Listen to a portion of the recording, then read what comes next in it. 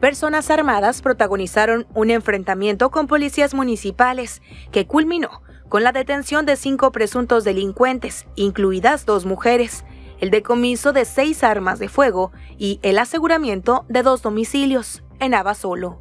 Los hechos se registraron durante la tarde del miércoles sobre el kilómetro 21 de la carretera a Monclova, en la entrada del municipio y a menos de un kilómetro de la presidencia municipal.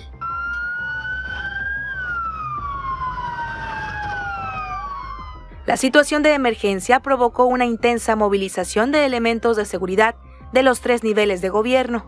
El intercambio de balas entre delincuentes y policías causó pánico en los habitantes al escuchar cerca de 30 detonaciones por arma de fuego en la colonia Alberto Villarreal. Madre Santa.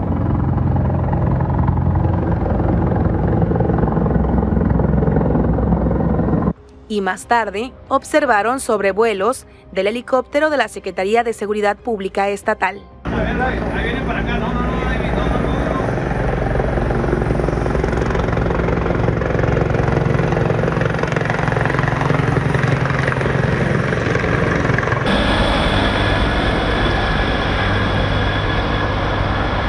Una fuente informó que varias personas fueron sustraídas de un domicilio ubicado sobre la carretera a Monclova y fueron detenidas con armas, incluidas dos mujeres, por lo que fueron puestas a disposición del Ministerio Público. Además, se mantuvo el aseguramiento de otra vivienda ubicada a unos 800 metros de distancia, pero sobre la calle Luis Donaldo Colosio, en su cruce con Cipriano Cantú, en la misma colonia.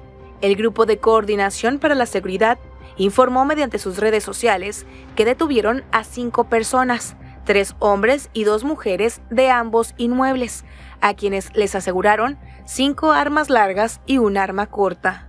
Además, no se reportaron policías lesionados.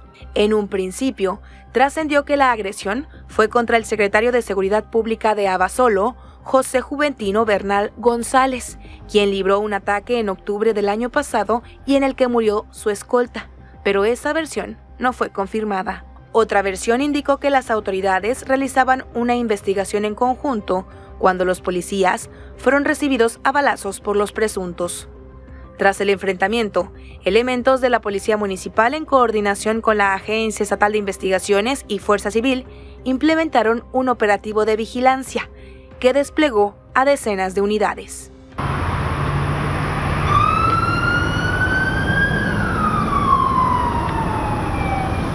La movilización se extendió hasta el anochecer del miércoles.